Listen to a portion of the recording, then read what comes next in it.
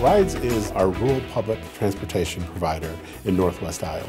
We service nine counties as a nonprofit organization, and we really are, unfortunately, a best kept secret to a lot of people. Nine counties, 67 buses. Last year we put on about 807,000 miles between all the vehicles. A lot of people perceive RIDES as an organization that serves the elderly and the handicapped. And while those are absolutely things that we're very passionate about doing, RIDES is a public transportation system that's a resource for anyone in our nine counties. If you have a child that needs to be picked up from school, could be for yourself going to work, going to lunch, going to meetings. RIDES empowers people to be able to continue their daily lives. We can empower parents who are working and transport their children for them, mature adults who maybe have lost their license to still be able to do the things that keep them as independent as possible, get their groceries, go to a doctor's appointment, go to lunch with a friend.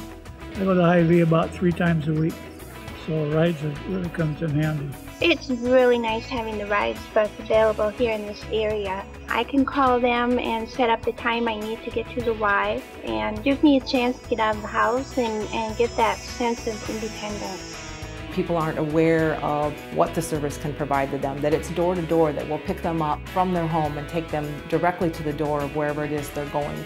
I wouldn't be able to walk very far to, to, to catch a bus, so it's nice to pick them up right at the door.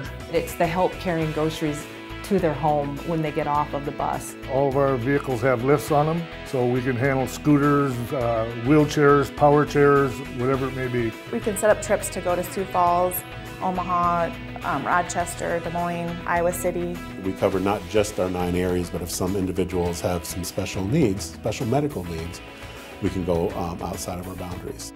We have a lot of regular customers and when they call in, sometimes they just have to start talking and we know who they are and where they want to go just by their voice. The driver is probably the number one person in our organization.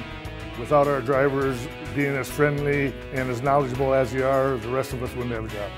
Our drivers really enjoy working with the public that we have. They're the heartbeat of the organization.